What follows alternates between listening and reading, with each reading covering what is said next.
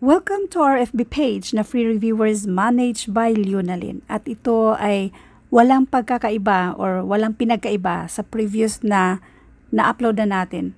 Itong basahin natin. Determine the first five terms of the general term. Itong A sub, sulat ko muna. A sub n equals n plus 5.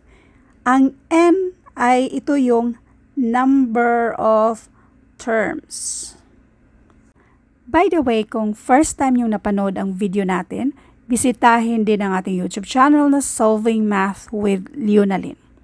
At para sa iba pang detalye, ugaliing basahin yung description ng videong ito sa mismong YouTube natin. So, since itong n na ito, yan yung number of terms ang nandito sa instruction ay determine the first five terms. So, doon tayo sa first term.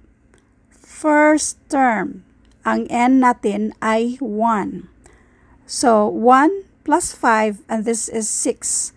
So, yung first term natin ay 6. Next. Diba? Ganun lang kadali. Wait, nawala si A.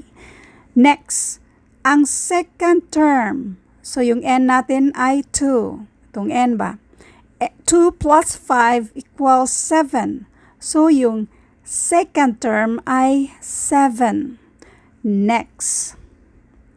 Yung third term. So, ganun lang pala ma'am. Yung n natin ay lagyan lang natin ng 1, 2, 3, 4, 5. Kasi yan lang yung hinahanap dito, yung first 5 terms. So, nasa third term na tayo. 3 plus 5 and this is 8. So, obviously, ang fourth term natin ay 9 at ang fifth term natin ay 10. Pagpatuloy lang natin, dito tayo sa number 4. So, 4 plus 5 and that is 9. Then, kung 5, 5, fifth term, 5 plus 5 and this is 10. So, ang sagot dito, determine the first five terms of the given term a sub n equals n plus 5 ay itong 6, 7, 8, 9, 10. Thank you for watching and all I hope mayroon kayong natutunan sa videong ito. Thank you and God bless. Pahabol ko lang sa lahat ng mag-i-exam na merong, lalong-lalo na, na sa mga merong number series Nakakatulong po ito para may idea kayo kung ano ba yung iba't ibang klasing pattern.